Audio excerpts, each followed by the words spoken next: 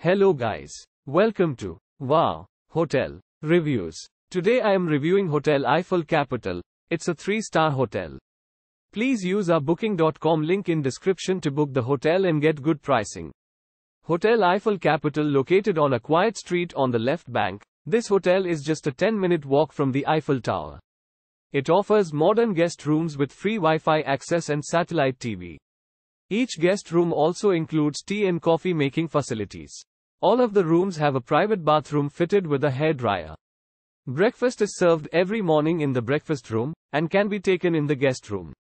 Guests can enjoy a drink in the bar at Eiffel Capitol Hotel.